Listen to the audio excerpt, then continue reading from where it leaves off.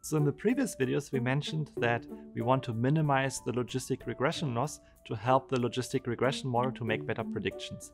Let's now take a closer look at how this works. So previously we introduced this computation graph here, where we had the given values x1 and y, and we wanted to update the model parameters w1 and b to minimize the loss. So assuming that the class label is 1 and the activation output was 0.1, we had a large loss as we saw in the last video, and our goal now is to minimize that loss to bring it here to the right hand side. We said we can do that by tweaking these model parameters w1 and b. So let's take a look at this loss function as a function of this model parameter. So the activation value is computed from the net input, and the net input itself consists of x1, b, and w1.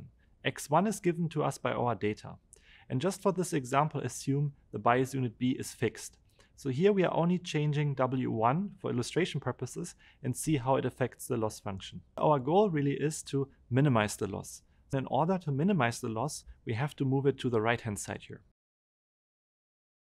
So for this, we will use a concept from calculus where we compute the slope of this point at this curve. So in fact, we are computing the partial derivative with respect to W1. And then in the upcoming videos, we will see how we can use the slope to nudge the loss closer to its desired value of zero. However, keep in mind that our training dataset consists also of training examples with class label zero.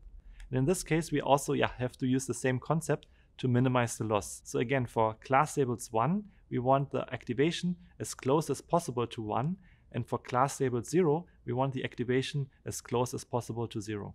So in computing this slope, the partial derivative of the loss with respect to the weight parameter involves the chain rule. So the chain rule is actually a tool that we can use to compute partial derivatives for a nested function. So if we want to compute the partial derivative of the loss with respect to W1, we can use the chain rule to break it down into individual steps that we can then combine. So and this is where our computation graph will come in handy. So we will start on the right hand side where we compute the partial derivative of the loss with respect to the activation A. Then next we will compute the derivative of A with respect to the net input Z.